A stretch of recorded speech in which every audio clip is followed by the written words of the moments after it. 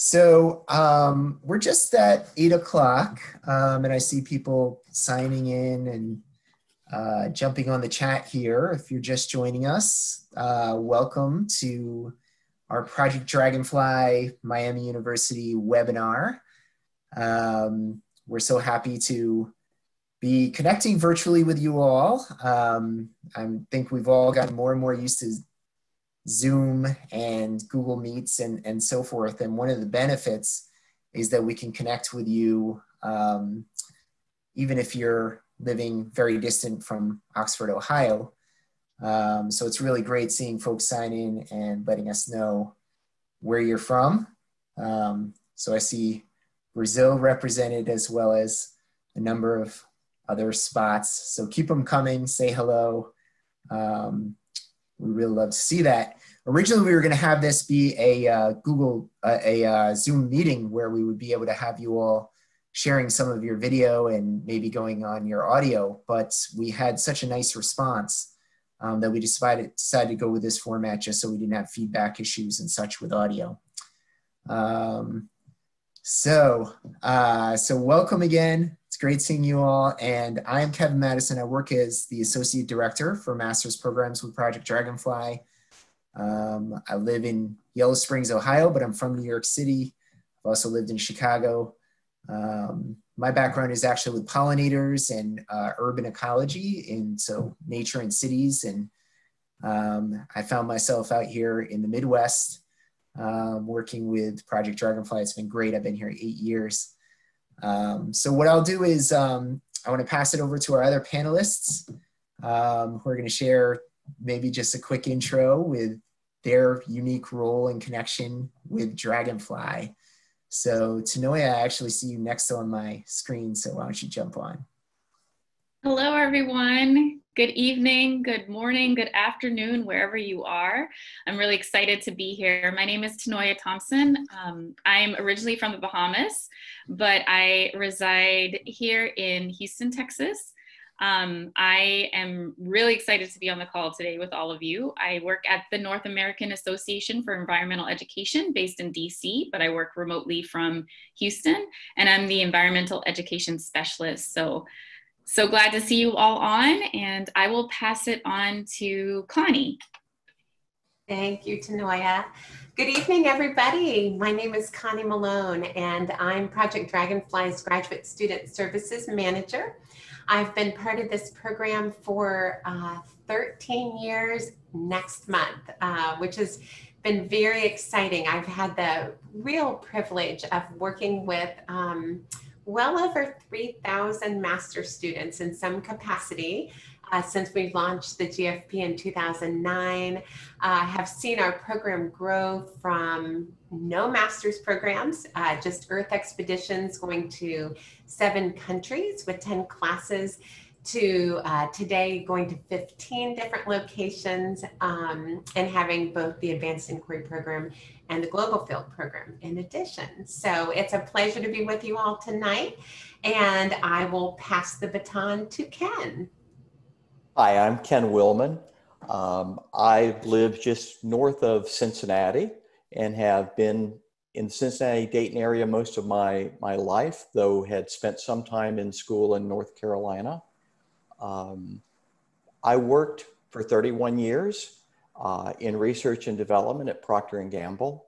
And upon retirement, sort of retired into the um, advanced inquiry program and have been there, I think, nine years since then. I started as a two, in 2012 as a student and did my um, work on really engaging my own community of Fairfield, Ohio, in trying to get them to uh, create and improve uh, conservation, local conservation programs. And once I got my degree, sort of moved into a facilitator role and an instructor role uh, within Project Dragonfly. So as I said, been involved with it uh, since I, I retired. Great. So uh, that's the group of us that are going to be sharing with you all tonight. Um, but again, to make this as interactive and as engaging as possible, we definitely want you all to use the chat, the um, Q&A functionality. If you do use the chat, there's a little drop down and I think it's by default, it says to all panelists. You can send, certainly send us a message directly if you just wanted to come to us, but in most cases, you'll probably want to choose all panelists and attendees and that'll just go to everyone. Everyone can see your question and we can help answer it that way.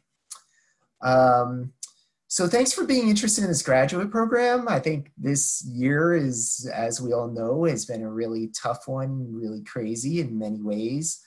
Um, so I think it's it's exciting that you're thinking about a positive change and trying something that will definitely get you out of your comfort zone. Um, I also know it's a hard time to be thinking about new commitments potentially. Um, and things like with the Global Field Program, which involves travel, with the Advanced Inquiry Program, which involves going to zoos or botanical gardens across the country, there's a lot of questions like how is this going to work? How are these, is this going to be functional in this day and age? Um, so we're going to start off talking about that, about COVID, how this can work. But I think we're also going to talk about how this program in general, even beyond COVID, what it can do for you, what you can take away from it, um, we have, uh, towards the end, we have some tips on applications. So um, we hope that'll be useful as you're starting to think about where to get your recommendation letters and um, how to fill out the essays and things like that. Um, and all of us are available for you all if you have questions even after this. Um, if there's something one of us says, um, we have our emails, we'll put them up on a slide or we can even share them in the chat. Um, and then you all can just reach out to us via email if you have any additional questions um, after this. Okay, um, so we'll start off with a little bit about Project Dragonfly Master's Degrees. We have uh, two programs and two degrees, so it's a little bit confusing sometimes, but they're all through Miami University um, here in Ohio um, what these programs will prepare me to do. We'll talk about Earth expeditions because a lot of people, even if you're interested in the zoo-based or botanical garden-based advanced inquiry program, a lot of people are interested in Earth expeditions. Like I said, we'll have some tips and then additional questions um, that we come across. So, but starting off, just like I said, sort of the elephant in the room is COVID. Um, so right now is a really hard time to be making decisions for the summer. Um, summer is our start time for new students. So at this point, as you all know, it's not clear exactly when we will have a vaccine, how effective that vaccine will be, how the rollout will look. There may be countries that lag behind other countries in terms of their ability to um, get a vaccine out to the public. So there's still just a lot of unknowns. Um, what I will say is that we will be following everything that Miami University is doing and recommending, plus our global initiatives offices, plus working with our in-country partners. And that is really the great thing about um, Earth Expeditions and the Global Field Program. Every country we uh, travel to, we have grassroots organizations we work with extensively who know the situation there and can tell us, here's what's happening, here's what our government is recommending, um, anything that we need to do to adapt, we will do. Um, and so in terms of just timeline for the Earth expeditions, the earliest one starts in May 20th. And just stepping back and walking back from that, um, if you apply to the Global Field Program, the application date is due January 28th. We usually let people know early to mid-March and then I would say we would also be making any decisions in March as to if there are countries that we need to make special accommodations for in terms of travel or that we cannot travel to, we would make those decisions at that time and we would have options for everyone. So this past summer, we had to unfortunately cancel all of our Earth expeditions because of COVID. Um, it was the safe thing to do, but also a heartbreaking thing to do. Um, because there's such great projects happening in these places. Um, and a lot of these locations really benefit from uh, tourism and travel and that kind of engagement. But in any case, we were able to shift to an online only course that was called Conservation Connected. Um, and we had 250 students uh, engaged in that and making real change, even remotely and virtually um, through that. So we have options, we can make things happen. For the zoos, um, maybe Ken, I'll put you a little bit on the spot because um, you work with the Cincinnati Zoo and Botanical Garden.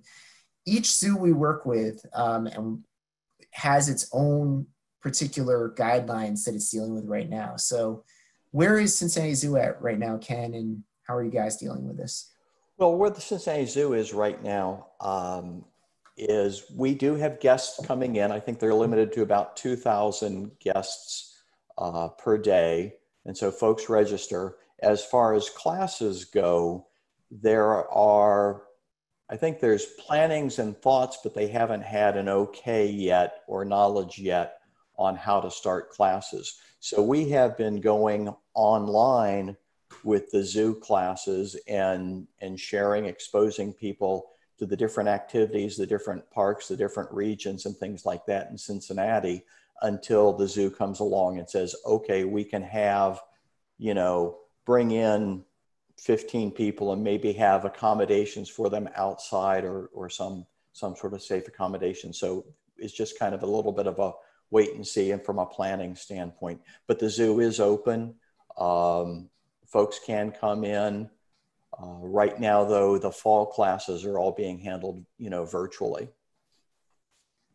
Right, and and that'll continue uh, into the spring. And one thing we we do feel very passionately about is that if people are in a situation we know not only are the, the, the spatial context of this pandemic is is variable right? There's different cities and states have different trend lines and so forth in different countries as well. Um, but uh, people's individual circumstances really vary too. So those of you that may be um, you know you have you're a caretaker as well and you have someone who has a compromised immune system or something like that. So you may feel less comfortable than others at doing some of the face-to-face at the zoos. So one of the things we're really working on is uh, for this spring, certainly, we will have options that if there is face-to-face that becomes available, if it seems like that is doable, we will also have a virtual option if someone just does not feel comfortable that way. Now, moving forward into the summer and beyond, it's unclear where, where things are going to be in, in terms of all that. But uh, I think we really want to make sure everyone feels safe with these courses. Um, one other thing I should just say is that you can always defer. So you can apply to the program and then you can, if you are accepted into the program and for whatever reason, COVID or something else, maybe you realize in March or April that you're not going to be able to do it, you can defer and start in a subsequent semester. So that is a nice option, especially in uncertain times, such as is now. Um, there was a question that I saw in the chat about, uh, can you apply if you're an international student? And yes, you can. Um, so for, in the case with the, the zoo-based programs, um, when we had travel that was required to the zoo face-to-face, -face, that could trigger the need for an international student visa. Um, but the Global Field program, which involves these shorter stints um, in countries internationally, usually do not trigger that requirement for a visa.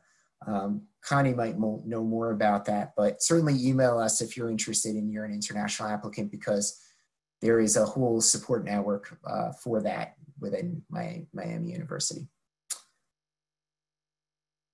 Okay. Um, so yeah, I already mentioned it's it's it's a university. it's uh, there's some brick and mortar there, even though uh, a lot of our students and graduates and maybe T'Noya and Ken were like, well, not Ken because he's went here for undergraduate, but a lot of our, our students in the program uh, first step foot on the campus at, at graduation because uh, this model is really distributed. Um, so, but it is a beautiful campus. Um, we are located in the Department of Biology. And one thing that makes it unique, we get a lot of questions, people wondering, do I have to have a science background? And the answer is no. Um, we actually uh, encourage and really feel that a diversity of undergraduate backgrounds and life experiences in general is really important. And that when we just put all the science people together and all the education people together over here, that doesn't really help move social um, and ecological change. So um, whatever your background, we've had theater people, we have had art people, business people. Um, Connie was mentioning historical preservation as her background. Um, so yeah. So um, I mentioned that it may be a little confusing. We, we have two degrees and a Master of Arts, the MA, and then an MAT, which is the Master of Arts in Teaching. And that one is really for already licensed teachers. Um, so that is a way for you to extend your, your education. In some states, depending on where you live, it may come with a pay raise. It may also just be something that your um, school and your principal supports. Um, so MAT and then the MA, um, so two different degree options. And just so you know, if you're not sure which one, we can help you with that. Um, also, you can uh, change those once you enter into the program. Um, both programs, so we have the GFP, which is the Global Field Program, um, and then the Advanced Inquiry Program, or the AIP.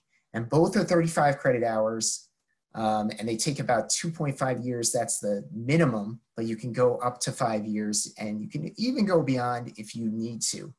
Um, some people want to just crash through really quickly. Um, some people are at a point in their life where they're like, whoa, whoa, whoa, slow down. I've got enough going on in my life. And they just want to take it at a slower pace. So we try to make that uh, either uh, path available to you. Um, if you're in the Global Field Program, you have 21 credits that are three Earth expeditions over three summers. Um, those are about 10 days in the field plus online uh, components, and then 14 credits that are purely online. Um, and then if you're in the advanced inquiry program, instead of those three Earth expeditions, you will be taking these engaging courses that are online with experiential learning at a, a zoo across the country or a botanical garden that we partner with. Um, and Ken is a perfect example. He went through the AIP, but he also did an Earth expeditions to Belize. So you can travel in that program as well if you want to. Here are our, our uh, advanced inquiry program locations. So if you don't know the zoo and botanical garden world, informal science education worlds, you know, these are some of the major, major players in conservation across the country in the United States. Um, the Wildlife Conservation Society, WCS, is a huge conservation organization. All of these are doing amazing work Cincinnati Zoo, of course, um, which was where we started uh, this whole program here in Ohio. Um, so just a wonderful group of organizations that we partner with. So if you're in any of these city locations or can drive to them or get to them on a reasonable basis, um, you can be a part of that program. And here are our 16 Earth Expeditions locations uh, across the globe where we have courses like Guyana, Local Wisdom and Conservation, India, Species, Deities, and Communities. So hopefully these names are inspiring for, for you. And for me, seeing this map is a little bit sad because we didn't get to travel last year, like I said, but we are definitely um, excited for this coming summer. And I am feeling the travel bug. I'm sure a lot of people are feeling ready to get out into the world. Um, so the way this works is that in your first summer in the program, um, we have uh, our, our uh, boot camp courses, we call them. So we have Baja Field Methods, Belize course uh, on environmental stewardship, and then Brazil on saving golden lion tamarins. Those are the three options for first year students. And then after that, you can choose any of these other locations. Okay, um, that map is on our website, of course, or um, all those are listed on our website. But I know I've been seeing the flash of the chat, so I think we have some questions, and I also yeah. figured I'd turn it over to T'Noya and Ken to share some of their thoughts. Do you want to try to work through the questions first? Because it seems like there's been about six or seven questions come along, and so maybe sure. we ought to, before we change a little gears, scroll back up and make sure we've addressed or Connie has addressed. Yeah, Kevin, I've answered many of them. Um, several of the attendees would like to know a little bit more about what distinguishes a Master of Arts from a Master of Science in, in biology, specifically in the field, mm-hmm. and whether or not um, you feel that has bearing on the employability or prospects after graduation? That's that's a great question. Yeah. So the um, the MS, a Master of Science, tends to be more. Um, it's a thesis that you're going to write, uh, original research thesis. Um, just just so we're clear, we do not offer an MS. Okay, so that is going to usually be a residential um, program where you're going to be at a university, more of a standard setup where you work with a professor and there's a lab and you have a research project and you write up your thesis um, over some time. So that tends to be more specialized. Um, some might say hard science. Um, in terms of employability, I mean, it might head you a little bit more towards labs or research type positions. Whereas an MA, a Master of Arts, is going to be more like a liberal arts education. It's going to be a little bit more varied in terms of the scope of things you're involved with. So you might be involved with research, but also communication of research and engagement with the community and um, how to create media and just a variety of different skill sets. Um, so I think it's it's broader the MA. Um, I think it gives you a lot of great skills, but they might seem a little bit more like soft skills. Um, I actually think those are amazing though. Um, so yeah, that's that's my initial thoughts on it. I don't know. Kevin, can, can I just give some perspective just as a hiring manager for 30 years, mm. since it's a, a hiring related question, to me, yeah, there's, as you said, there's oftentimes different expectations. An MS one often thinks is a thesis master's though I know some MAs who have been thesis masters and, and the university has just decided to put it in that location.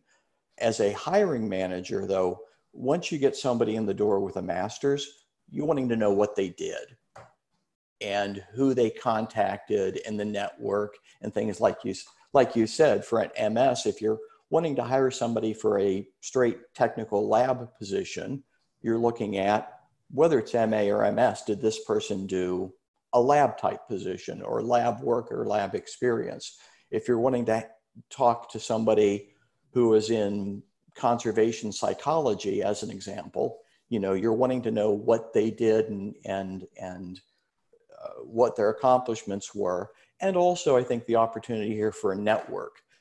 Networking is so important nowadays and so they both give you the opportunity, I think, to talk with other folks, professors, things like that, and build a network. Uh, and, and those are the two things as a hiring manager I looked for.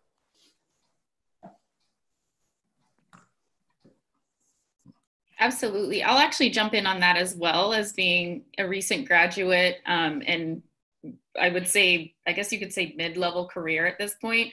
Um, I see an MS as very like it's research based, right? It's it's very geared toward academia. So if you're interested in, as Kevin and Ken have both stated, you know, more the the hard science, which I don't really even like to use that term because like science is science, right? But the hard science, you want to be crunching numbers and and pursuing research, then then that's probably the direction you might want to take if you're looking at your own personal goals. But if you are looking at it from more of a practitioner base, an MA, especially a program like this, is super valuable because not only do you get that experience within research and communication and project management and building and curriculum development and all those things you you still are like you know nesting it on top of science you know and it's it's a mix of science and i think especially moving forward in the environmental education field, conservation field, wildlife, whichever way, name you want to name it,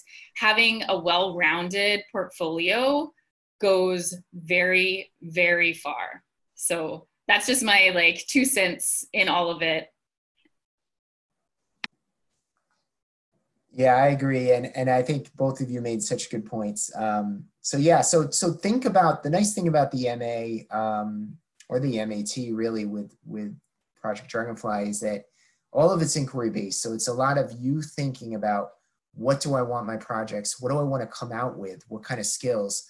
So it's not going to be laid out for you like it would be in some programs. You're going to have to think about, oh, hey, I want to switch careers. So maybe I need to develop this skill in GIS or I need to develop this other, um, or I need to get a teaching portfolio going um, because I want to get into that field. So there, there will be some thinking about what do you want um, from it. And uh, yeah, so keep, keep the questions coming. Um, but I want to just step back a little bit, um, T'Noya. I know we had started, um, so because there's a question about how do you work while doing this program. And you were talking about the countries you travel to with the GFP, but maybe you can share your perspectives on like working and being in this program and how you traveled and so forth. Absolutely. Um, so there was a great question from, I believe, Michael um, if if you can do this whilst working. And it definitely is a lot of sacrifice and a lot of hard work, but it's doable. Um, I had a full time job, two part time jobs, and a two year old when I started. Uh, so there was a lot going on. And what I love best about the program is um, it's super adaptable. The instructors are are very um, engaging and supportive, and so everybody recognizes that life happens. You know, there's a lot that can happen in your 2.5 years of, of working on this. Um, and so that I just kind of wanted to put that out there that it, it's definitely adaptable for your life. Um, that being said, you, you do have to get that organization system that works for you to balance all of it.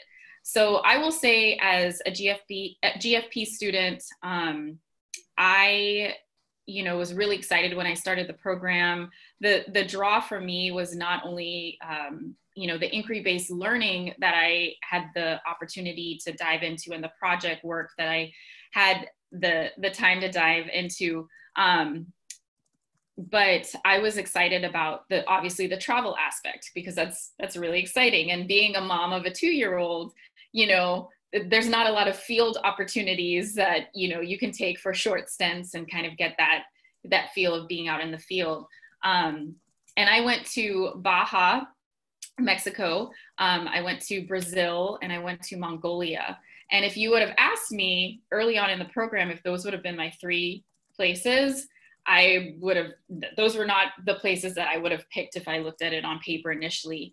Um, but I, what i really like about the program is all the courses and the way that things sort of um, are laid out, it really puts you on this self journey of of inquiry within like yourself. And as you develop your master plan and as you develop your systems and your goals moving forward um, the right places and and the right projects in your courses just kind of sort of come to light. And you know sometimes you know there would be times that you would struggle of like okay where am i going and what is this path? But there the way that everything is structured is just super organic in terms of developing it. And it is what you make it right? It i mean just like any experience in life it's it's what you make it. And so you know depending on what you're going into the program for and the goals ahead it is a really great way to build a system to help you reach those goals.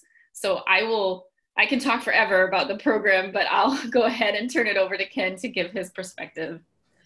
And, and Ken, as you give your perspective too, I wanted to point out a question a little further up in the chat from Jessica Fowler, who asks, what positions at a zoo like Cincinnati or Jacksonville does the AIP prepare you for? Um, for example, after completing the AIP, what positions would people be most likely to be hired into at a zoo? Um, let me try to answer that question first before I go on and, and move on. I mean, I think one of the things that make sure as you're joining the program, there's certainly networking at the zoo and meeting people at the zoo and meeting people in different departments like at cincinnati zoo and botanical garden you know you'll interact with people who do um, horticulture people who work with the animals people who do research in uh, endangered species and things and people who do work in marketing in uh, communications so you have an opportunity to interact with those individuals and network with those individuals and meet them and get advice and guidance from them. Uh, it's not necessarily a program that one thinks immediately as funneling to zoo positions, you know, so where there's, like I say, networking opportunities and communications in horticulture and endangered species. Um, it's one of those things that that there's opportunities to meet but at the same time you know if your goal is to get a ultimately a zoo position you probably you know want to consider it maybe even talk with the um, the the graduate advisor for that zoo what sort of success or what sort of positions they've had at that that zoo. Because i think i don't you know i want to make sure people understand there's an opportunity to network an opportunity to meet and that networking may turn into positions but it's not necessarily seen as a funnel towards zoo positions. I don't know kevin if you've got other thoughts on that. No that's perfect. I mean yeah it's it's uh, I remember having a dream of working at a zoo ever since, you know, I grew up in New York City and went to the Bronx Zoo and I was like, oh, someday I want to work there and then I, I finally was able to get a position, but it wasn't how I thought it was going to be. It was uh, in the education department, um, initially an internship at $10 an hour, uh, 20 hours a week. And I was trying to live in New York City. So, um, but you know, this program, we get some people who have that dream of working with animals and they want, they wonder if this can get them directly in the door. And I think what you were saying, Ken, is like, sometimes it happens. It may not happen in the way you think and it's not a direct funnel into especially animal being an animal keeper um, which by the way is very hard work. Um, um, great and rewarding work but very hard work. Um, so but i think through all of this and it's not just that you'll connect with the people at the zoo you're where you're uh, uh, doing that experiential um, um, hours that we're going to talk about but you're also connecting with people virtually who are across the country and across the world sometimes. So you might be, sometimes we'll get, it's really cool. We'll have like uh, someone who works as a rhino keeper in New York at the Bronx Zoo and they start connecting with a rhino keeper at San Diego Zoo Global through the um, online platform. Um, or we get people that are all trying to change their careers in, in different directions. So there's a lot of talking um, happens with that. So yeah. as far as a specific example at Cincinnati Zoo, um, the two volunteer coordinators at the zoo were both AIP graduates and got their positions after their graduation from the AIP program. So it can happen, it, but as Kevin says, sometimes it happens in different areas or different ways, as I said, through the education department or volunteer coordinator departments or things like that. Um, as far as my own personal experience, uh, I went with the advanced inquiry program kind of gave me a base here in Cincinnati. As I'd said earlier, I had uh, retired after 31 years of research and development and was trying to find out what was next or figure out what was next. And to me, the advanced inquiry program was attractive because um, it did let me learn conservation, kind of a new area or new area I was interested in exploring. It also let me understand and explore what was being done locally in my community, specifically of Fairfield, Ohio, in conservation. And I did uh, research on volunteering, research on recycling, research on uh, butterfly gardens and establishing those within the community.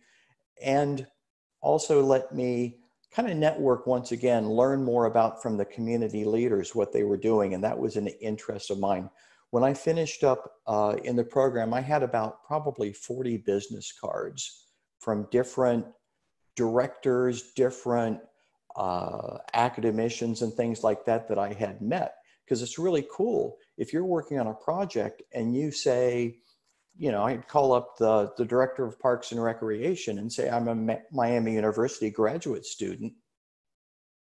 They'd set up a meeting with me and they'd sit down and we'd talk and I'd understand what they were trying to do and uh, try to get some programs working with them and had success in that. So for me, it was kind of staying local, but also still the opportunity uh, to take an Earth exploration or expedition to uh, Belize and learn what they were doing about community engagement and community-based conservation and take some of that thought and that inspiration kind of back to Fairfield.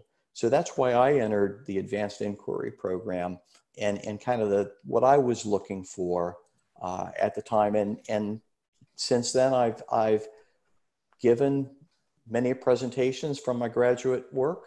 Uh, I'm an instructor now in the program, so it's kind of led me to where I am right now. Thanks, Ken. Kevin, uh, can I jump in yeah. really quickly? Yeah.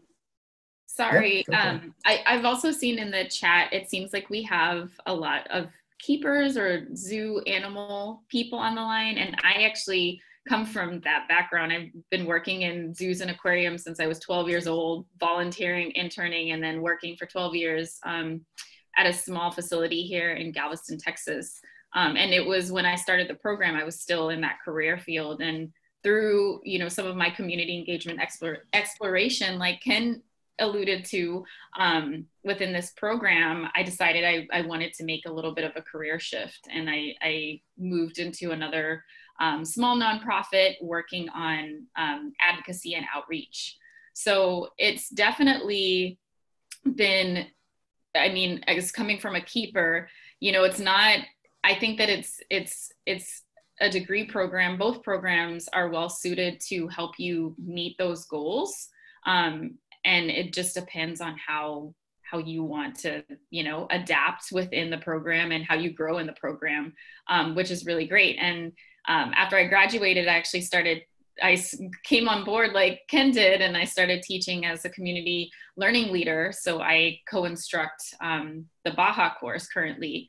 So it's um, it's it's really what you make it no matter you know what what it is that you pursue or what angle you pursue it from looking at what you want to achieve ahead it, it's really on it's really on you on how you want to to apply the program to your life. Cool. All right. And um yeah let's let's and i see some other great questions coming in and you all are doing so great on blowing up the chat. Thank you for engaging with us. And let's, what we'll try and do, if you didn't get your question answered, please don't uh, hesitate to post it again. Um, and we'll also um, make note of them and, and try and get to them. Some of them are going to be covered, I think, in these next few slides. Um, so, right there. Okay, and thank you, Connie and Snowy also are really responding to a lot of those. Thank you, and Ken. Um, so this is just our, our mission. Um, so really what we are about is community. And so um, trying to get an alliance of people, I would say Dragonfly folks uh, that are in this program, you know, on the whole tend to be incredibly positive, idealistic, optimistic, excited individuals who, you know, want to make positive change. So we're trying to build a community of people like that um, who aren't afraid to go out and you know talk to new people or try and make things happen. We have a lot of introverts in this program, and it is very outside their comfort zone initially, but with the support, I think you find a way to um, engage with your your community both in Dragonfly and in your wherever you live. Um, and this is just a picture from our Amazon course um, that I instructed a few years back. Uh, this one's great for all the bird bird nerds out there, of which I, I am one. Um, there's thousands of species of bird in um, the Peruvian Amazon, so it's amazing for that. But also for seeing some really cool animals like giant otters and um, sloths, three-toed sloths, and and all sorts of really cool things. Um, so just to be in a magical place and to experience that with other people and um, so get to know, getting to know each other through that shared experience and also learning about conservation in the Amazon and what's being done. Um, so yeah, these are kind of the sort of themes and focus areas of many of our courses. So biodiversity threats and conservation. So what can we do about invasive species? What can we do about habitat destruction or fragmentation? What about positive things like corridors, wildlife corridors and such? Do they work? Where do they work? What situation? So really delving into those sorts of topics. Um, we have an evolution course, of course, uh, being a biology program. Um, so really getting into the mechanism of how it works. Um, but really our bread and butter uh, in this program is the community engagement methods, um, helping you figure out how you can make engaging surveys, interactives, media, those sorts of things. Um, there is a requirement for you all to um, publish and, and submit something for publication throughout the time of the program. Um, so that's something that I think is a little intimidating at times for folks. Um, but again, there are, it's scaffolded and really built into the, uh, the curriculum. Um, this is our online platform. It's called Dragonfly Workshops. It's, it's actually, if any of you are familiar with things like Canvas and Blackboard and so forth. So it's kind of like that, but I, I feel like it's a little more personal and obviously connected to what we do. Um, so this is an example of how the platform would look. You'd have a course here, for example, the Baja course. Um, you would click on that and then you would see um, icons of all the other individuals that you met, in this case with Baja, that you met in person in, in country. And then you're gonna also be engaging and talking throughout the semester about things you're doing once you get back from that trip. So all of your assignments, your syllabus, all of those things, all the interactions will be through this uh, platform.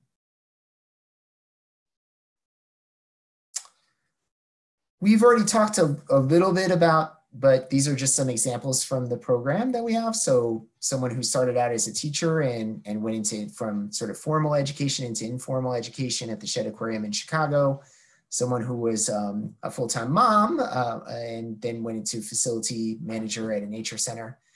Um, a recent graduate, we have people that are unemployed, right? And especially now with COVID, um, many recent graduates and many people that have are not recent eh, have actually been in the workforce for a while have lost positions. So if that is the case, um, you know, you wouldn't be alone either if you were in between jobs or looking. Um, so just some examples there. We've had some folks create a new business um, or create a new nonprofit or foundation.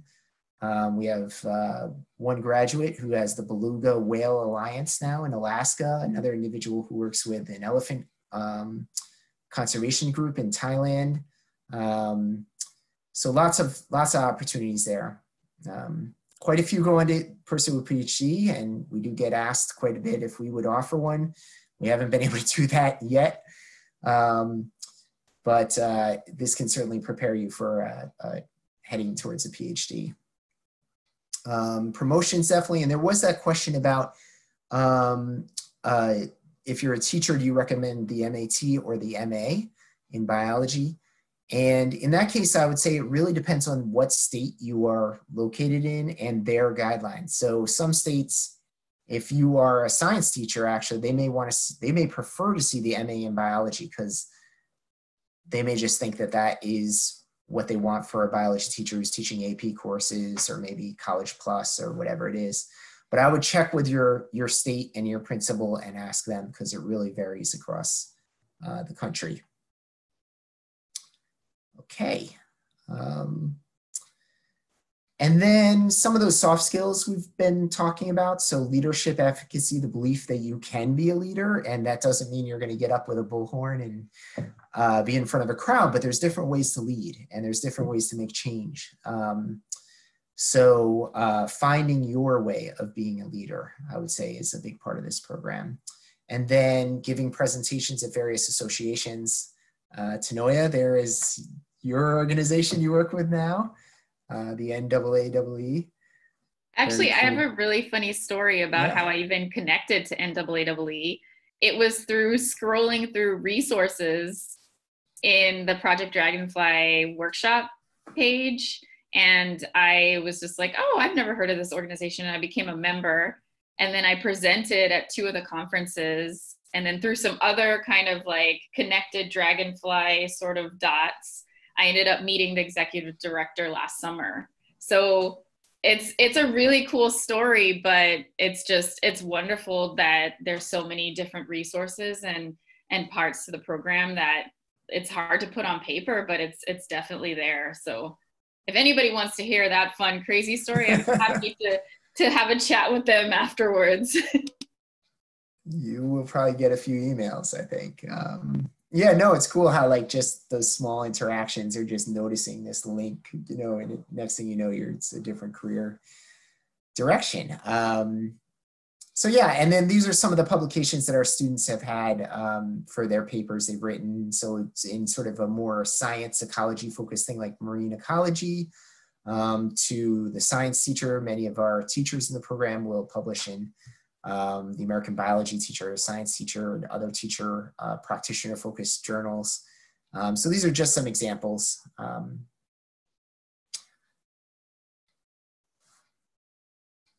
okay, um, so Earth expeditions, um, again, if you're in the Global Field Program and, and you will go on three of these Earth expeditions, um, if you're in the Advanced Inquiry Program, you have the option to go on one. Um, and once you're an alumni, you can go on as many as you want.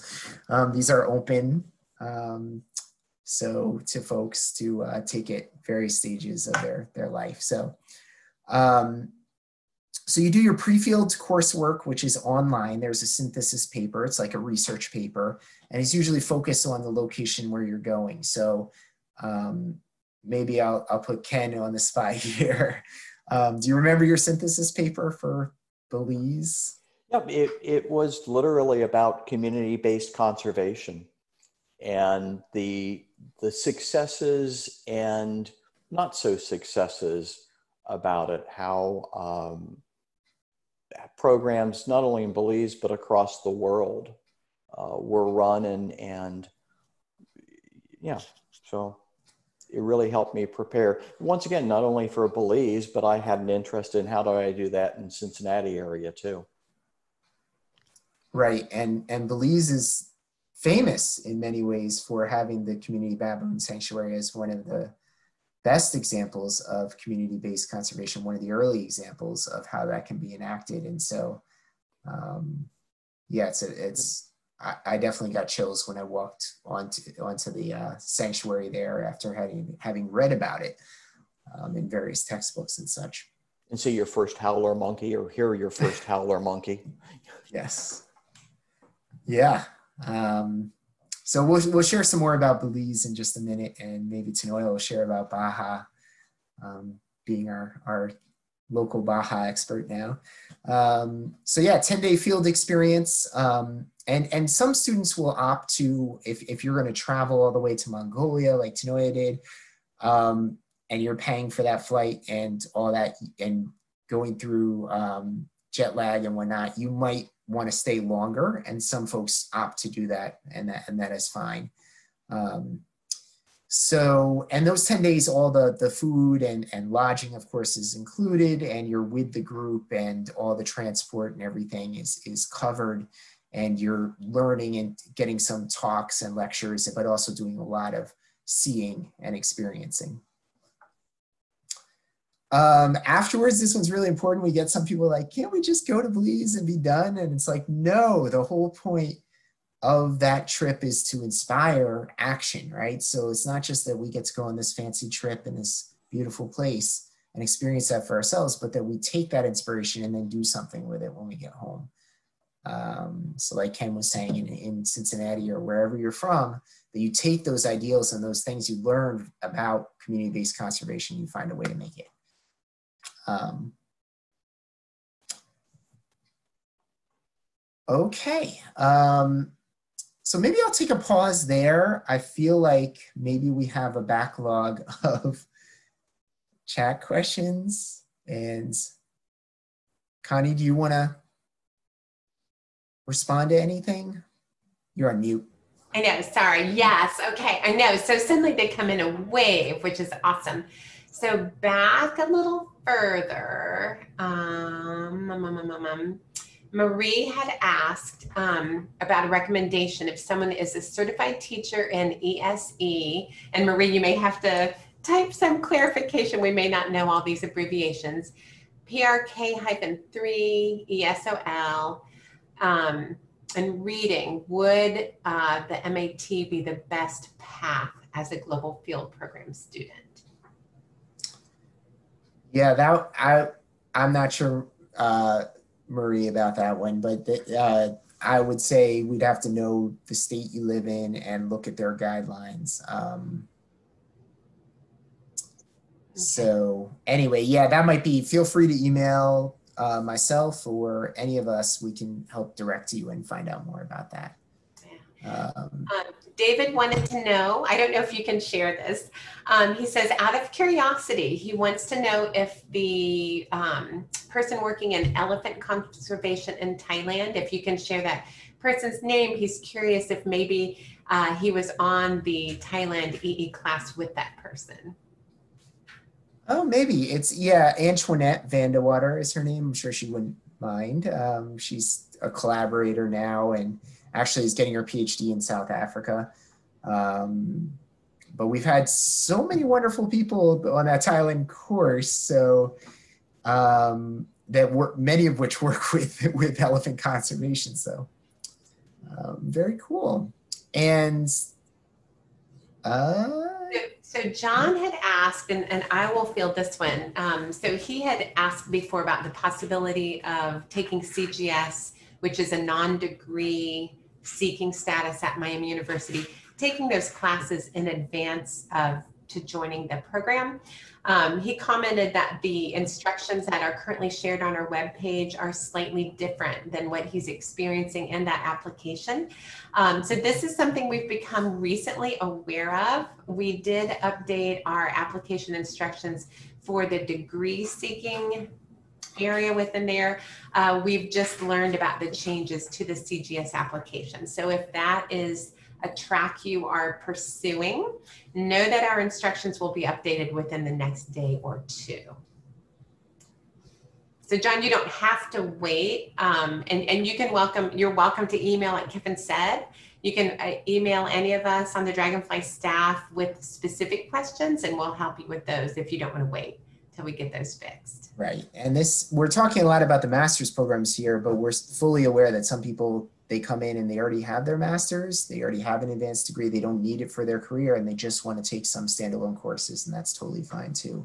So there is a path um, for folks in that boat. Um, Sarah Sherwin asked, when you travel, do you typically fly to the destination with the group or on your own?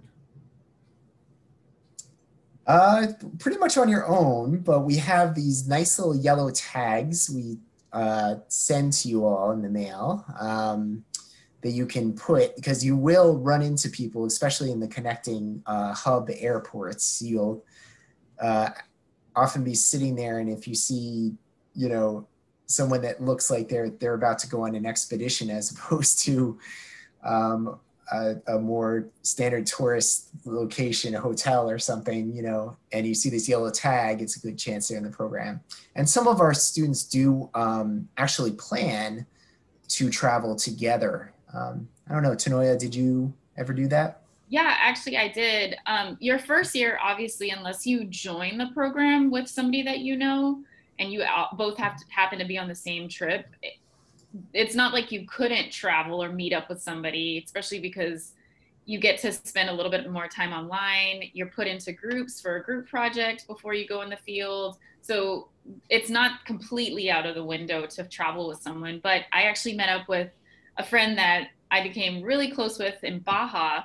We met up at the Houston airport. She was coming from um, Milwaukee, and then we traveled from there to the to Brazil. And then Mongolia, one of my other Baja classmates, we met up and we flew together to Mongolia um, and back. And we did some like days in like Seoul, South Korea, and then we did like a day in China. So it's definitely fun to travel those long stints with at least somebody. But um, like Kevin said, you know, you you most likely might you know meet somebody in the airport, and that yellow tag is kind of like a ah dragonfly, and you know you can connect from there. But it's a pretty mostly instantaneous like community, and then it just builds from there. So Thanks. Um, so yeah, so during, let me just go back here. Um, so in addition to the to the zoo-based courses um, and these field courses, the Earth expeditions, you have these core courses which take place in the fall and the spring.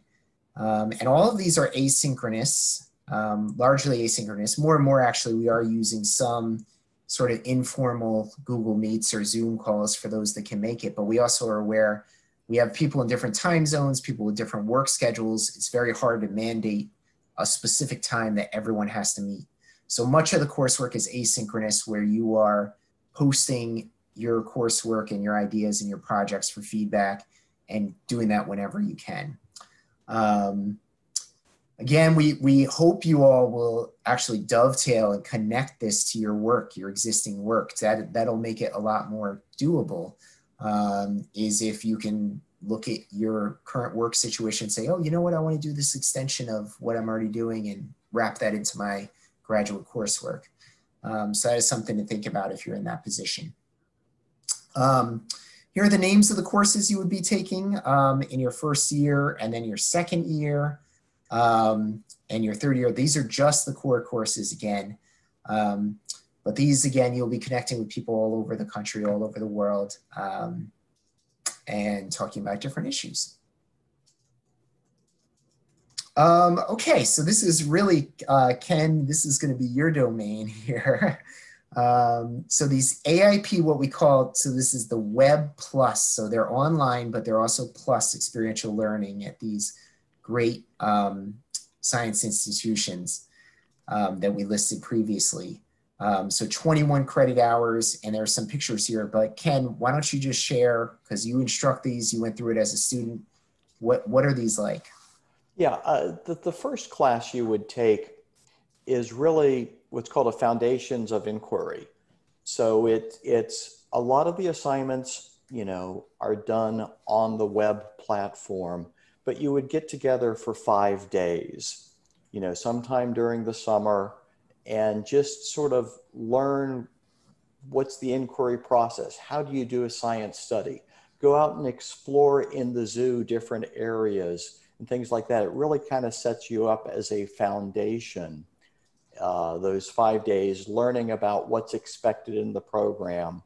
But then most of your assignments become once a week, you might have a web based assignment where you're reading some articles about a topic of need or a topic of interest related to perhaps that that that class. And then you're responding back to those articles doing some more research yourself. So that's how you start and then after that in the fall spring and summer there will be a class, usually in the fall and summer, that meets on a Saturday four times during the semester, really about once a month. And once again, most of your assignments are still done on a you know web-based platform, um, but you get together to kind of go in in depth on a area of interest, maybe give presentations, uh, give talks at the zoo. We do one on issues at Cincinnati Conservation, where we spend a day at Fernald Preserve, which was a former uranium reprocessing plant nearby that's been turned into a preserve, or a farm that's been turned over to wetlands. So you get together for, the, for those days on a Saturday and uh, explore that local area of interest, but still do a lot of your assignments online. Thanks, Ken. And just other examples, since since I mentioned I'm from New York City and know the Bronx Zoo well, um, they have some great collaborations with like uh, I think it's, it's called like the Gotham Coyote Project or something along those lines, dealing with human wildlife conflict with coyotes in um, much of Upper Westchester, New Jersey area. Um, also things like uh, looking, we have students looking into diamondback terrapin conservation on Staten Island. Um, we have folks that have worked, done internships with the Mannahatta Project, which is re-envisioning uh, what uh, Manhattan used to look like and how it's transformed uh, as one of the most altered uh, landscapes on the planet at this point, but re-envisioning what what did you know uh, Times Square used to look like, what habitats were there, and so forth. Um, so very cool things happening at all these locations. St. Louis, the Missouri Botanical Garden, um, is really connected with urban ecology in general and pollinator projects and things like that. So um, but we could go on and on with examples. Yeah. Zoo kind of creates their own experience based on their skills, expertise, needs of the area, and the like. All right. Um, so just to go into detail on one, just one of our 16 Earth Expeditions courses, Belize. Um, this would be a, a, first year course that is uh, available for those starting in the program. Um, so people always want to know what, what does it look like? Where do we sleep? Um, so we'll start off with that slide here. So these sort of cabanas on this bottom picture, um, very cute, I think, um, in this sort of unique uh, pine savanna, tropical pine savanna landscape, which is the Tropical Education Center of, of Belize. Um, and this is the area where we would have some um, class gatherings up top um, at the same location and also connect with the Belize uh, Zoo, which is a really unique um, uh, zoo that is really engaged with the community, has uh, a focus and pretty much all native animals to Belize, and is really trying to help people feel pride in these animals. Um, here's some images of, of the types of inquiries you might be doing, um, again, to sort of practice and get accustomed to the scientific process and also to reignite your own curiosity. Um, a lot of us adults, we've kind of at some point stopped asking questions. um, and it's really um, refreshing in, in my experience to start just being curious again about what you see around you. Um, Ken, jump in at any point because I know you've got Belize stories, but. no, it's, it's just an amazing area, what they've done, and especially the Belize Zoo. Uh, the person who created it, I mean, there's a book, you know, written about it. And so you you meet Sharon Matola, who's, you know, created it, and she, you know, person who's written it has a book written about her, just how she decided to create this zoo because most of the local people in, in Belize had not really seen the local animals. They'd heard about them perhaps, maybe even feared them, but they had no place to go to see these, these local animals. So she sort of gathered it and had all sorts of government issues she had to address and overcome. But it's now a, a, a wonderful place in Belize that is very popular and it gives a chance for, for Belizeans to see Belizean animals. Very cool. And I know some, we've had just a couple people um, letting us know if they have to pop out or something. Um, but, you know, yeah, hopefully you can, you can stay on. We'll keep going for probably another, what are we at now? It's about, it's nine, actually 9.05. So we'll probably go for another 15, 20 minutes or so. Um, but feel free if you need to drop out, that's fine. We'll make the recording available. Um, the other great thing about Belize uh, is the snorkeling, and uh, this is the Great American Reef, um, the largest uh, coral reef in the Western Hemisphere. Um, it's from uh, seagrass beds, uh, which have some unique species, to the actual coral reef. Um, it's just an absolutely amazing experience, something definitely to be on a bucket list if it's not already for you. And there's um, some cultural tie-ins with the uh, history of uh, Mayan um, uh, indigenous peoples in, in Belize and learning about the history there and the history of environmental um, uh, damage and you know use i guess through you know hundreds of years right that it's not just current um, so that's an interesting thing there. And this last one uh, picture at the bottom is is journals. So we do journal in country. Everyone takes a journal and reflects on their time and thinks about and takes notes and um, learns from that process. Okay. I know time is the issue for us but T'Noya, i gotta hand it to you um, before we get into the slide and just just maybe tell us a little bit about Baja for for those that just saw those cool Belize pictures and are like, it has to be Belize. I know. I'm like, oh, I wish I would have gotten a whale shark picture in there. um, so Baja is super near and dear to my heart. Hence my my plug for Baja um, in the chat. But I, it was obviously my first um, trip and uh, my I, I, feel like every course kind of feels this way because it's the for, there's something about the first course and being together.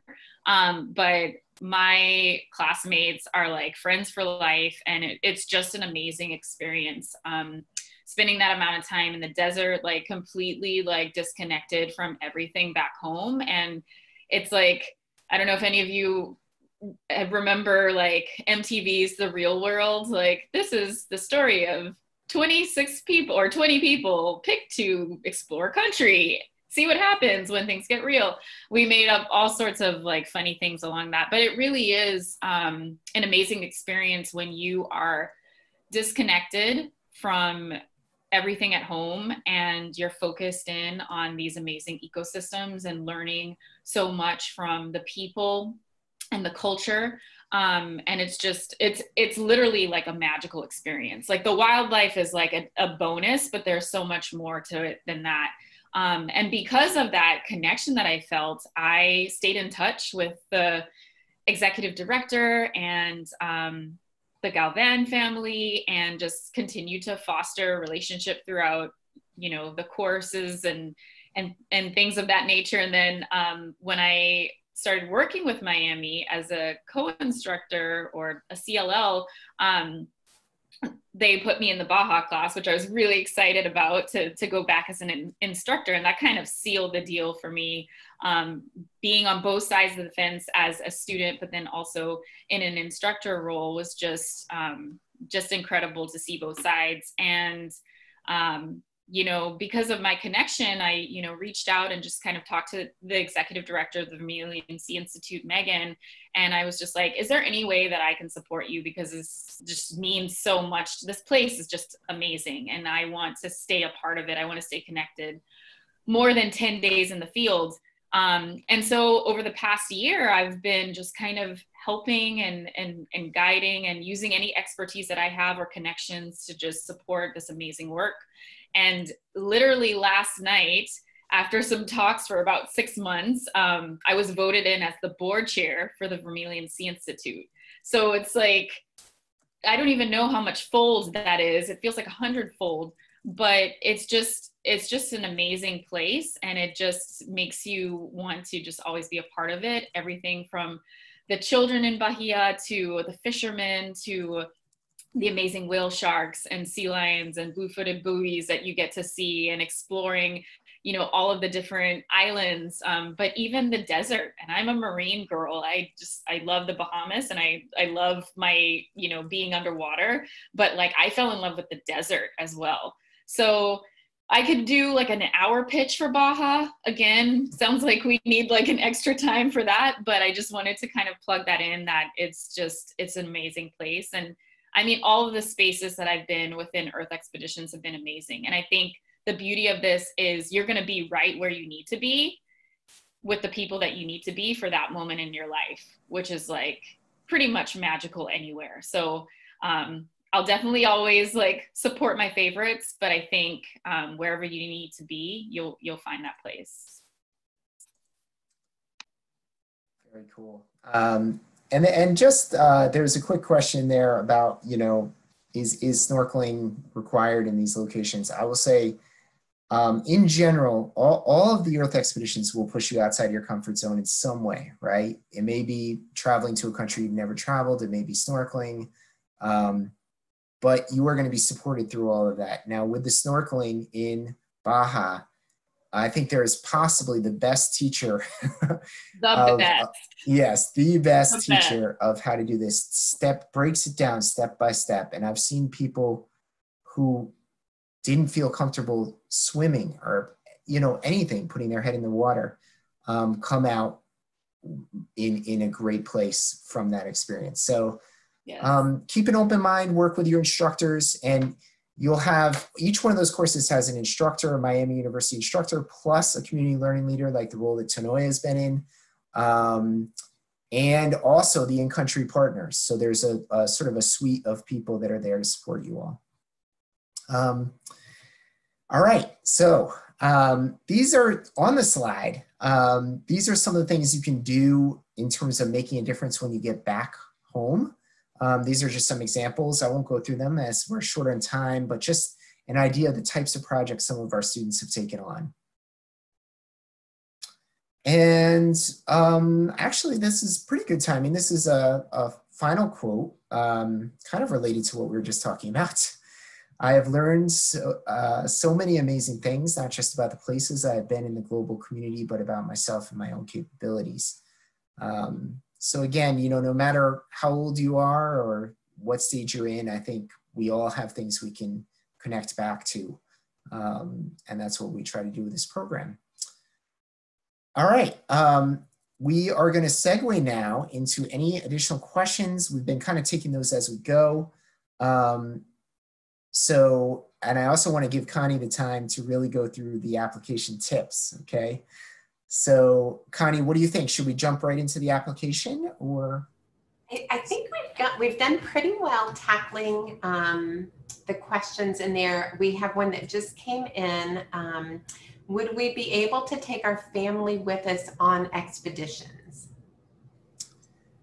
That would be uh, really difficult, and and I have been tempted as as an instructor in the program, but it is just very hard because you're pulled in different directions. So currently, we don't um, we don't support that, um, but we have, have had people that have had their family come meet them um, at the end. And also, in, if you're worried about that, um, the advanced inquiry program may be a nice connection. I think sometimes, and Ken, you know more about this, but the advanced inquiry program really can attract people that want the option of traveling, but maybe they don't want to commit to it for three summers. Maybe they want to do it once or maybe not at all, and they still want to get in, involved in global conservation through the connections with the zoo or botanical garden. Definitely. Yep. Okay, um, so we'll keep uh, responding to chat as we go, but uh, Connie, let me hand it over to you. All right, so my part is not as exciting as everything that everybody else has just talked about. So this is kind of a little nuts and bolts um, process steps here. Um, so we'll begin with some application tips. Um, so the first and foremost thing is if you if you are considering applying to the Global Field Program, to the Advanced Inquiry Program, to Earth Expeditions, please start early. Um, get your essays together, contact your references if you need them for the master's program, uh, begin working on your essays, find out how to go about getting your unofficial transcripts. Um, get those things together. And the earlier you can start, uh, the greater the likelihood is then that you will meet the application deadlines, which are January 28th for the Global Field Program and Earth Expeditions, and February 28th for the Advanced Inquiry Program. Um, when you submit, if you are applying to a master's program, you'll submit the names and email addresses of at least two people from whom you'd like letters of recommendation. Um, the new system, the graduate school has a new application system, which now, as soon as you enter it, will generate those auto requests. But nonetheless, you want to make sure that you do provide sufficient time for your references to get their information in for you. Um, speaking of references, uh, we get this question quite a bit. Um, who should we ask? People will ask that. Um, in general, we definitely do recommend that you get a professional as opposed to a personal reference. And by professional, it doesn't have to necessarily be your job, though it can be a boss, a supervisor, um, a colleague. Um, it can also be a former professor or a teacher, or perhaps you're in a volunteer capacity and you um, work with somebody there, somebody who's the director, executive director, or something within that group. So somebody that has that kind of objectivity as opposed to just Aunt Betty or your neighbor um, is generally preferred. Third of all, spend some time thinking about your essays. And when we speak to applicants, um, and this sometimes feels really hard uh, writing that essay because we know you want to write the best be all end all thing that will just convince us to bring you into the program. Um, I always like to tell applicants that the most important thing here is to speak from your heart, to speak in your own voice. Uh, there is not one ideal response to our essay questions. Uh, we are not looking exactly for specific things. Again, this uh, program welcomes people from every academic professional background. Um, so even though we do have a lot of people who come to us from the fields of education and the sciences, as Kevin mentioned, they also come to us from business and law and the arts and special education. Um, so even though you might want to tie in your essay, as we say, if you are early in your career or considering a career change, you might want to talk about what you hope the program will do for you with regard to your career goals. Um, you might want to highlight your hobbies and your passions as those relate to the natural world and making those connections to nature and then making those connections to the overarching goals of the program, which you can get from a good read through the website. Um, next slide, please, Kevin. So as you are preparing your materials, one of the things that you will, again, if you are, um, actually, if you're applying to any of them, Earth Expeditions, the AIP, or the GFP, you will need to upload a copy of your resume. Um, if you're coming from some backgrounds, you might have a curriculum vitae. Um, that's okay too. You can upload that whole thing. Check it for typos, check it for misspellings. Give it to a friend, a family member, a coworker to review for you. Uh, one thing we've learned over time, no matter how good a writer or editor you are, um, we all miss things. Our eyes skim over material that we've become terribly accustomed to, to the point where we no longer see things. So pass those along to somebody you trust for a second look. Uh, if you're applying to the Advanced Inquiry Program, each of our master institution partners uh, throughout the fall and into the early winter will have open houses or info sessions. Um, those schedules are not on our website, but you can link to each master institution's website, and those dates are shared there. Uh, we do try to share those dates through Project Dragonfly's Facebook page as well. So uh, if you haven't been there, we hope you'll visit it. Um, our team does a, a, an amazing job of sharing our students' stories there. It gives you a great look at the kind of work our students are doing. And it does share these open house dates. Um, we do have applicants who will be interested in joining us who see on the graduate school's website uh, that there is a 2.75 on a 4.0 scale minimum GPA for regular admission. And we'll hear from people uh, with great regularity who are close to that, but just under, um, or who are significantly under, but maybe have been working in the field for 10, 15, 20 years, or who have advanced degrees. Um, if, if that situation applies to you, please know that um, a sub 275 GPA does not preclude your program admission. Uh, while the grad school just looks at your transcripts and your criminal record, Uh, they look at that too. Um, our review committee looks at the entirety of your application package. So they're gonna they're gonna look at those transcripts, but they're also going to look at your references, at your resume to see what else you've done in your life. Um, they're going to consider the entirety of it. And if they feel like you would be a good fit for the program, we have the option of submitting a petition for what's called conditional admission. And every year we do this, and our students who are admitted conditionally uh, do an excellent job. Um, we've we have had tremendous success with that. It is something we are very comfortable doing. Um, finally, double check for typos and misspellings. Again, that goes back uh, to what I referenced with your resume. Do it with your essays too, please, before you submit. All right, so how to apply, um, we hope, except for the CGS instructions, which we have realized are not updated. Um, the process is, is very similar for Earth Expeditions, for the Global Field Program, for the Advanced Inquiry Program. Uh, the slide you see here shows a screenshot of the Earth Expeditions Apply page. You can see on there two different links, one in the left menu bar, one on the right-hand side.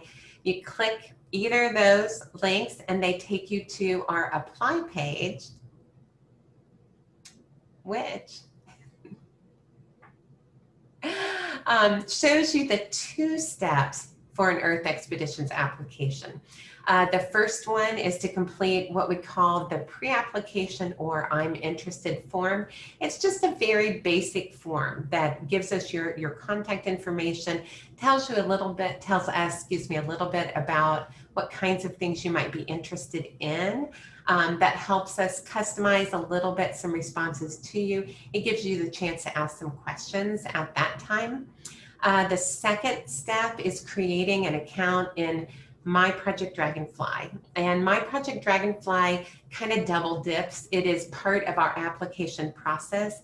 It also functions as a student information management tool.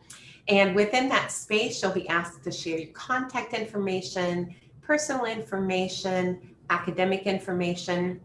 And for Earth Expeditions, you'll also share your essay questions here or your responses to your essay questions, you'll upload your resume or curriculum vitae in this space as well. Um, the process is very similar for the Global Field Program. Again, here we are on uh, the Global Field Program homepage. Similar to the EE page, you can see the two links to get to the apply page. And once you're on the apply page, again, very similar layout. Um, the first two steps are basically identical to what an Earth Expeditions applicant would do, but there is a third step here, which is that application to the Miami University Graduate School. Um, basic information is on this page. If you are um, applying to the master's degree program, in the frequently asked questions for both the GFP and the AIP, there is an FAQ on how to complete the graduate school application, which offers some specific detail. Uh, the one point we share on this slide is um, on the application, when you're answering the question, what program are you applying to and degree? In this space, you will not see AIP or GFP. This is the space where you'll indicate your target degree, which again is either going to be the Master of Arts in Biology or the Master of Arts in Teaching in the Biological Sciences. And AIP very much mirrors the GFP. Um, same thing, home page, two spots to click apply. And then when you get to that apply page, um, just like the GFP, you're going to see the three steps completing that pre-application I'm interested form, uh, creating and completing your account in my project Dragonfly, and then submitting your application to the grad school. Uh, we do have, we didn't address it in the slides, but um, we do have a number of people every year who want to apply to both programs. And that is perfectly fine. If you're interested in being considered for both programs, um, you'd follow these steps. You'd do two My Project Dragonfly accounts, but you'd only do a single graduate school application because that would count for both programs.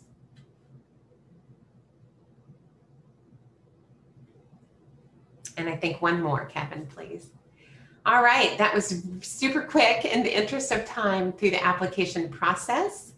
Um, I don't know, there probably been questions listed. Any other questions about the application process? We've been, uh, I think, responding to many of them. Um, there's maybe a few more that'll pop in, but I just want to take this moment to thank you, thank you again everyone for attending. Um, actually, uh, I did have a final slide that I think because I just closed it off, but T'Noya and Ken, if you wouldn't mind, if you want to pop your email in the uh, chat in case anyone wants to follow up, and I'll do the same. Connie, if you want to do that as well. Okay. Um, And so we all are, are available if you have additional questions. Um,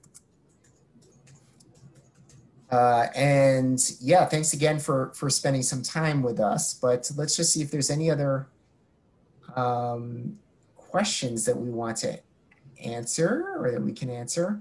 There's questions about the costs, um, and I know that's always on people's mind. I'll just say we we have a web page. Um, Connie, do you want to pop that in there, the cost page? Absolutely. Um, So, and, and the Earth expedition cost is listed, the basic cost on the GFP page. If you want to see the country specific costs, which th- there's a base price that's the same for all of them, but a small number of our classes carry additional course support charges with them. That's listed on each country page. But yeah, I'll get, I'll get those, these in here.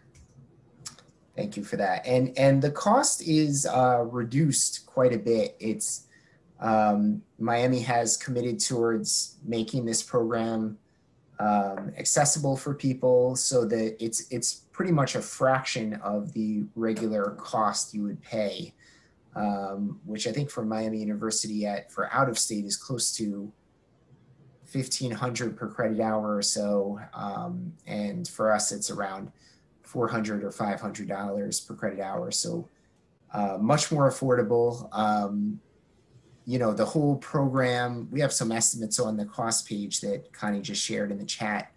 Um, but both programs the aip or the gfp can be done um, for probably under 15000 or so for the for the two and a half years. Um, of course that depends on airfare and some other things but um, we are doing our best to make it affordable so people don't have more debt. Um, question about the acceptance rate as well. That's that's really varied through time um, as well and by location. So depending on what AIP location, you know, the acceptance rate could be anywhere from 30%, 40% to up to more like 80%. Um, and I would say when it is higher, I think we feel very good about that as well because um, many of the applicants are are just exceptional people who have found this program and are willing to try something different. Um, so yeah, so that's that's some on that. Um, T'Noya, Ken, were there anything you wanted to jump in and say at this point? Certainly feel free to contact me or us if we can you know, share personal stories, experiences, help, uh, uh, you know, with any suggestions that, that might help you through how to think through the program. Uh, we put our emails up there, or you can certainly get them. Um, you know, I'd be glad to answer any questions offline. I see a couple other application questions in here. Um, Paula asks, are the transcripts needed just from the school? I just lost it. just from the school we got our most recent degree from or every school we've attended. So on the on the graduate school application, you'll be asked to attend or excuse me, to list every school that you have attended. Um, you will, every school you list, you'll need an unofficial transcript for. Um, we've had a small number of applicants who are just like, just avid learners. They have taken not, you know, lots of classes in lots of places. Um, you can always list that information on your resume um, and omit that piece of it from the graduate school application if it's preferable to you. Uh, you definitely want to list your undergraduate degree. Uh, we recommend also including any post bachelor's graduate work you have done um, when you do that. So you would need all those transcripts. Um, I saw one other on there. Okay, John asked about older transcripts and how to make sure that they get to the right department. Um, Miami's graduate admissions has just actually um, been moved into the department that houses undergraduate admissions. And, and that will probably help with that kind of question. Um, if somebody has submitted um, their transcripts and you hear from us or you hear from the graduate school that that we don't have them we're always able to track them down um, if if you have a receipt or confirmation from your school or like the national student clearinghouse share that with us and, and we will track it down Fantastic. Um, so you all have our contacts, so you can keep asking questions, but I am gonna get ready to wrap it up here. Um, T'Noya, did you have anything else you want to say? Just basically the same. If you need anything or if you have more questions, feel free to contact any of us. I'm I'm happy to to schedule a quick call or you know correspond through email. Um, but we're all here, so if you have more questions, feel free to bring them in.